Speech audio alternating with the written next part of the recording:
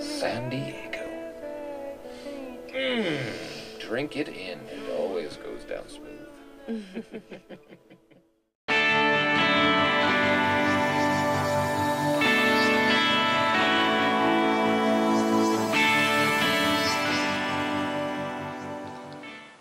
Hey, Beer Tube, Ryan here. Uh, this is going to be a beer trash and beer mail episode of San Diego Beer Vlog. Um, drinking some of my uh, homebrew IPA. It's not really a very pale IPA, but it's on the dark side. So anyway, let's go through the uh, this Labor Day weekend beer trash.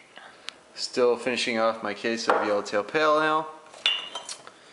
Tr- finally tried my first Mikkeller beer, Beer Geek Brunch Breakfast. Um, pretty good beer, not the best imperial stout I've had, but um, I, I thought I had some uh, good uh, coffee characteristics. I wouldn't say the uh, that Weasel coffee makes a significant difference, but I enjoyed it. I, I won't buy it again. It's too much money. Um, Lost Abbey Serpent Stout.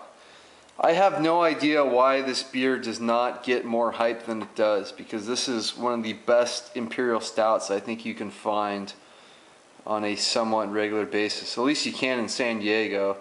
I see this stuff everywhere. Um, and I'm kind of glad it's not a uh, more hyped up beer since I can find it so easily, but well worth the uh, 12 or so dollars you'll pay for a bottle of that. Um, Jolly Pumpkin. This is the Calabaza Blanca. This is a Witbier white ale. Um, I, I wrote some reviews for the Beer Geek Nation website, and I was doing a kind of a series of white ales, but I never got around to this one. But uh, maybe next year I'll do that in the summertime. But unfortunately, this is I'm pretty sure the only beer or the only brewery from Michigan that we actually get here in California. We we do not get Bell's, we do not get Founders. Uh, there's probably a few others we don't get as well from Michigan, but this is one we do get, and we do get their whole line, which is great. Uh, the label came off of this one, but this is Hobgoblin from uh, Wychwood Breweries. Uh, bought this thanks to uh, Simon at the uh, Real Ale Guide, turned me on to this one. I'd always seen it, but I didn't know much about it. So thanks to his review, I bought this. Uh, I did start. I drank this a little too cold, but towards the end, as it was warming up, it it became a really nice beer. Uh, next time, I'm going to wait till it warms up more. Uh, Rochefort 8, uh, solid beer. Um,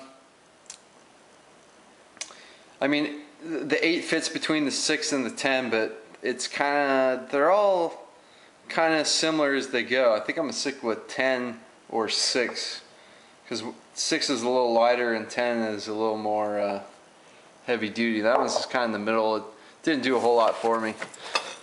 All right, this is a beer I really wish we could get year round out here in California. Bell's Two Hearted Ale, very very nice beer. Uh, this one I think could definitely compete in the San Diego market. Very nice beer. Um, we're finally starting to get a lot of the uh, the the more limited edition Dogfish Head brews, and this is Sah'tea. I've never had a traditional Finnish Sahti, so I don't know how this compares, but um, not a bad beer. Definitely one you want to split with one or more people. I couldn't drink a whole lot of that. Brewdog Stone Collaboration Beer Bashah. I did a review on this. Check that out. I'll be up in the future. Dugana IPA from Avery. This reminded me of a couple IPAs I've had. I, I think they classify this as a, a, a double IPA. Uh, it's at 8.5%. Um, very solid IPA. Not as good as Maharaja. That's probably my favorite IPA right now. Very solid one. I think it reminded me a bit of Hop Stoopid is the beer that I'm thinking is close to resemble that. Uh, I probably won't get that again. Stone Ruination IPA did a review on that. Check that one out. Uh, let's see. Had to trade for this one, Southern Tier Creme Brulee Stout. Um, very tasty beer.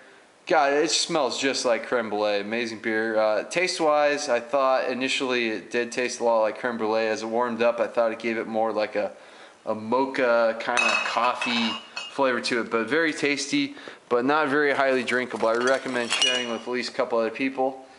Finally got around to trying a Saison DuPont. Uh, excellent beer. Check out uh, Chris at Beer Geek Nation's review on this one. This is very traditional, very tasty saison. Uh, Trader, joe's. oops, fumbled that one. Trader Joe's started carrying Duvel, so excellent. Not not my favorite Belgian Golden Ale, but uh, a classic, a very solid one. Still not a complete huge fan of that beer. Uh, maybe one of these days I'll get it. But um, this is the latest, or sorry, this is not the latest. This is the collaboration beer between Firestone Walker, 21st Amendment, and Stone. This is their El Camino Unreal Black Ale. Excellent, excellent dark beer. Check out my review of that one. And we got a couple more in here. Another Yellowtail Pale Ale. And lastly, this is the Kern River Brewing Company Just Outstanding IPA.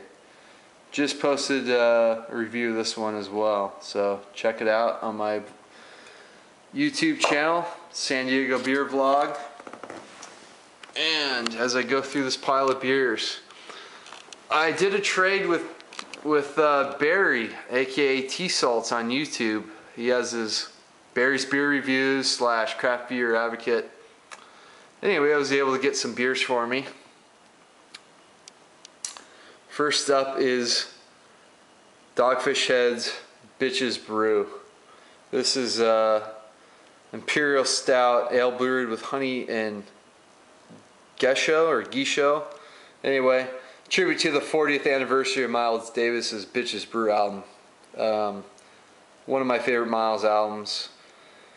Um, at the time, I didn't know if this was going to be coming out to California, but I, I, have since learned that it will be showing up here. So uh, I'm going to get a couple bottles of that one, but thanks, Barry. This one I definitely cannot get here in California, Brooklyn Brewery's Black Chocolate Stout. Seen a lot of great reviews on that one. Looking forward to trying that one. All right, Smuttynose, another brewery I cannot get out on the West Coast. This is their Baltic Porter. I'm a big fan of uh, porters and definitely Baltic porters. So looking forward to giving this one a try. Um, I actually got two bottles of that Brooklyn Black Chocolate Stout and uh, another one from Southern Tier. Um, I've been trying to get all their Imperial series. This is their coffee stout. I also have their chocolate stout as well. I got in another trade. And hopefully I can trade for their, uh, their pumpkin beer, Pumking soon, because I heard that one's excellent as well. So uh, thank you, Barry. Hope you enjoyed your beers. I think Barry's going to be doing a beer mail on his beers that I sent him. So uh, that's it for today. This is beer trash and beer mail, or I might rename it as what's coming and what's going. So cheers, guys.